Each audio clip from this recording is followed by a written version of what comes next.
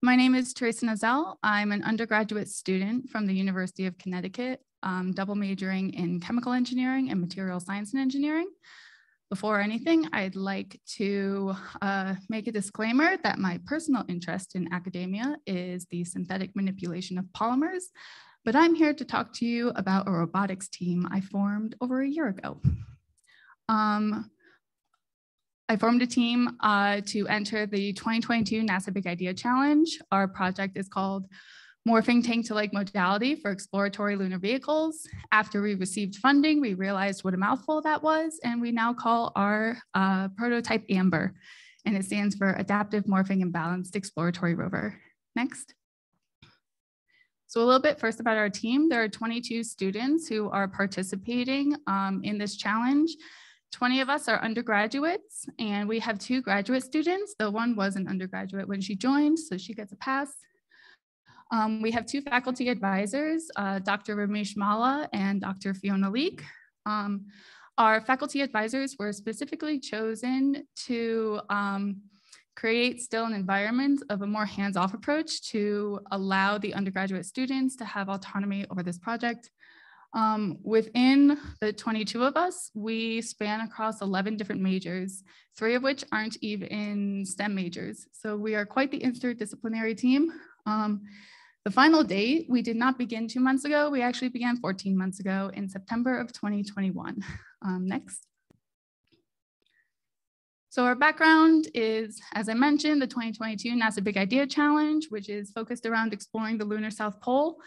Our prompt that year was to develop an alternate modality for lunar rovers. And the conditions that we chose to develop this modality around were to, to, to traverse the unavoidable, fluffy, high, highly porous regolith that is found at the lunar South Pole, the steep slopes um, associated with the craters there, uh, up to 26 degrees, and um, the potential icy content that is expected to be found at the base of those um, poles. I would like to point out that this is the scope of our project. Our project is based around how this modality moves and not so much the actual um, full rover that it would encompass in its final glory. Next. Our timeline started, uh, as I said, 14 months ago. We spent about four months developing this concept and writing a proposal on it that we submitted in January. In February, we received um, notice of funding. We started phase one, had our mid-project report in May, and are now concluding our phase two. Um, and in a week and a half, we give our final presentation in Pasadena. Next. So this is, uh, this next section is about the progress of our technology. I'd like to remind everyone, I like polymers. This is about a robot. Um, this is why I have a team of 22 people, but I will do it justice. Um, next. So our approach to solving this problem at the lunar South Pole is to have a morphing modality. We want to combine a tank motion with a quadruped motion. Quadrupeds have not currently been used on the lunar surface. Um, next. But we're looking to combine the robust stability and energy efficiency of a tank with the adaptable stability and obstacle avoidance characteristics associated with a quadruped. Next. So our design with our original proposal was going to be based off of what you see on the left, which is the Open Dynamic Robotic Initiative, ODRI for short. It is, um, it was a collaboration between, I believe, a German company and New York University. It's a quadruped. Um, everything about this quadruped is open source. You can find the design, uh, CAD designs, an itemized list of electronics, as well as programming online. Our intent was to start with this, already at a fairly high TRL um, and build off of it to incorporate the adaptive um, aspects that we were looking to produce. However, after receiving the funding and uh, we're ready to begin purchasing, us, like so many other people, were affected by COVID and a lot of the electronical components were indefinitely out of stock. And by needing to switch out these components, Um, they, the new things that we were buying had different geometries. Um, so the physical aspect of the robot had to change. Um, and the way it talked to the program also changed. So we could no longer use the shell components or the programming components um, and needed to build our design from the ground up, which you can see on the right. Um, I'm gonna break down, down that design into its um, different components a little bit, but I will go through it rather quickly. Um, but if you have more specific questions about it afterwards, I encourage you to talk to my two team members, Vihan and Ratish, who I brought with me specifically for that reason. Next. This is the body of Amber. Um, this houses um, our ODrives and other electrical components separated by these mesh um, barracks that you see that are also used um, for wire control. Next. This is our back drivable articulator um, composed of an upper shell and a lower shell um, to house more electrical components, including the motors. Um, this piece is articulating and is one of the movable parts. Um, again, everything you are seeing, um, this upper shell, lower shell, and joints are all designed um, by these students who have been working on this project. Next. And the final aspect of this design is the tread that is being used for the tank motion. Um, the first image is a CAD design of the mechanism. The second is we are using woven Kevlar to put um, the links securely around each side. This gives it a durable but flexible um, ability to be pulled around uh, the gears that we have in motion. Next. Next.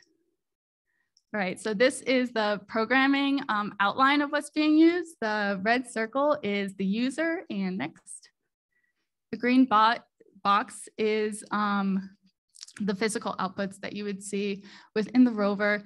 All of um, the math associated with the motions that are being used in combination with the specific pieces of electronical components that we have chosen um, have been uh, derived by our students as well as then it's um, putting into the program and having that math translated to the programming language and then speaking to the electronical components as needed to create the motions that we desire have also been done fully by our undergraduate students.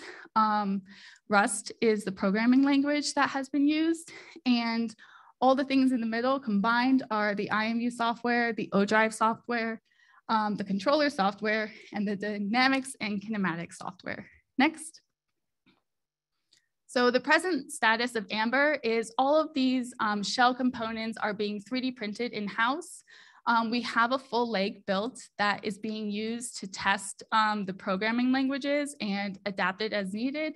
Um, and there's also general assembly of the other four uh, legs, as well as the body being done. Um, but the final question, as mentioned at the beginning, is, is this a viable solution to be used at the lunar South Pole? And next. Our conclusion is that more time is needed to develop this technology and test it. Since we did have to start at a much lower um, TRL than we originally expected, the progress has been slower than expected, but with the conclusion of this challenge as it is um, in the next week and a half, this project does have a permanent presence at UConn. We will be moving to a new lab in the next few weeks. And the current talk is to register Amber as a UConn undergraduate organization. And this will allow its progress to continue to be in the hands of undergraduate students and be used as a learning platform for robotics and for working on um, interdisciplinary projects such as this one. Next. All right, so this is the part that I actually like had control over for the past 14 months and the part that I personally have cared about the most, and that is the progress that my 22 students have made. Um, this program didn't just fund a prototype, it funded the personal and professional development of these students. Um, it's been talked about, uh, mentioned or so uh, a number of times over the last few days that more graduates in STEM are needed, and specifically within the context of STEM graduates interested in space exploration. But the stigma, especially with younger undergraduate students, when they hear the word NASA or um, space industry is one, that's super cool, but two, I have nothing to contribute to that. That that is so far out of my league because I am not a genius or a rocket scientist.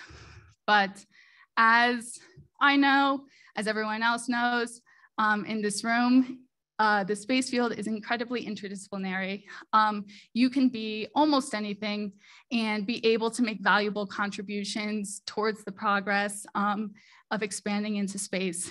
But many students did not spend their childhoods looking up at the stars, wanting to work in the space industry. They needed to find other routes. Um, my personal uh, involvement started when I had a friend who peer pressured me into applying for my first NASA program five years ago.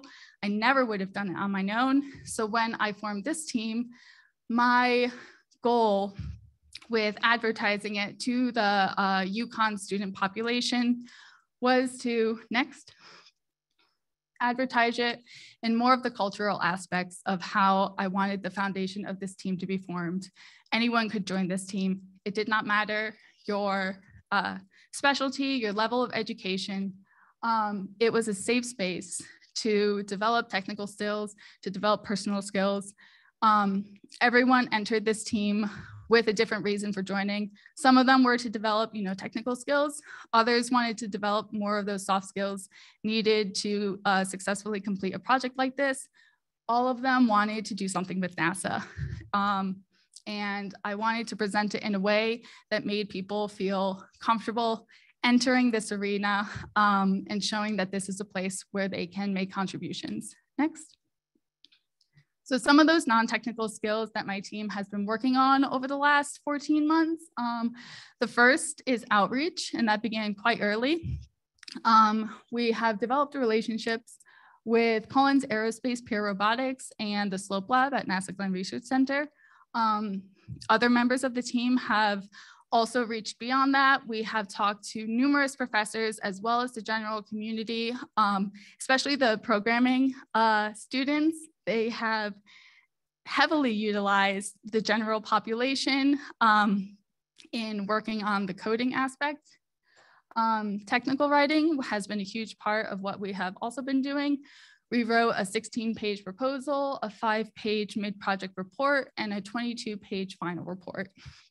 Um, technical writing is a very formulatic skill um, that is generally overlooked in um, the college setting, and this was an excellent time to really focus on it and help the students develop it.